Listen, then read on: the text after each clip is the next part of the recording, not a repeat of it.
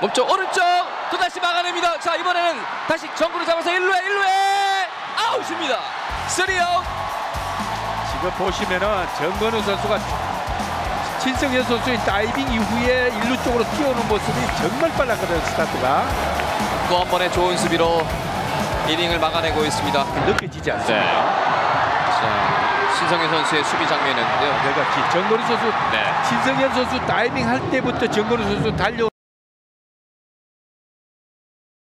결과가 나쁘면은 이영욱 선수는 세이프될 가능성이 높은 거죠.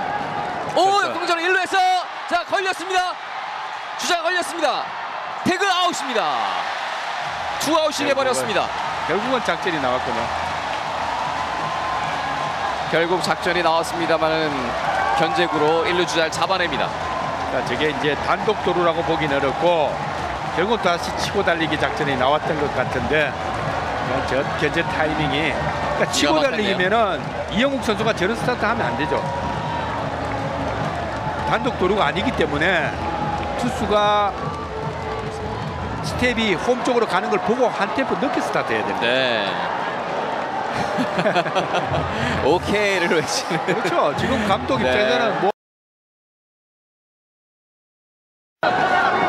투볼 원 스트라이크. 자 번트를 자 3루수가 잡고 어디 2루 2루에 2루에서 아, 지금은 아웃입니다. 네, 판단이 굉장히 좋았습니다. 그러니까 박승민 선수가 빠르지 않다는 것도 그렇고 지금은 판단이 굉장히 좋았습니다. 네. 주현상이 빠르게 수비를 펼치면서 선행주자를 잡아냅니다. 근데 송구가 조금 짧아서 그렇죠. 불안불안했거든요. 네, 권영관 선수가 그러니까 일루수와 같이 발뻗어서 이제 포구하는 데만 집중했기 때문에 굉장히 좋은 포구를 해냈습니다. 네. 투수 앞쪽으로 냈는데 이번에도 그 잔디 위쪽으로 수비 위치를 잡았던 주현상이 빠르게 들어갔고 여기서 2루에 승부. 그러니까 판단이 지금 주현상 선수가 굉장히 또 그러니까 수비가 좋다 그랬지만 지금은 판단이거든요. 그러니까 대시에 들어가면서 사실은 박성민 선수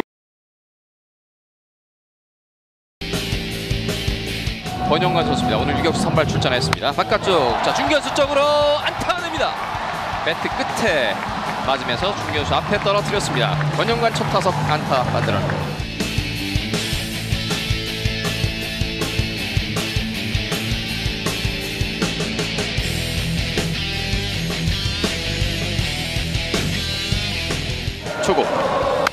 자 지금입니다. 자 엑스 앞에 안타가 냅니다. 연속 안타가 나왔습니다. 주자는 2루와 1루.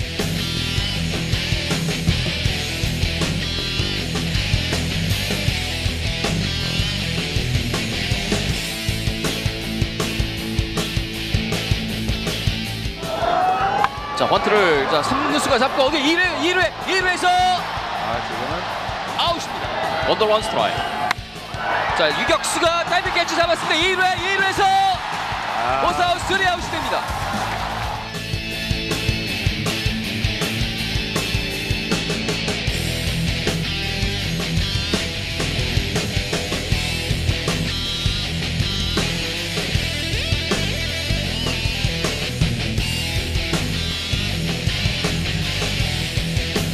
어떻게 마무리가 됐을까요? 빠른 볼입니다. 유격수 다이빙 캐치.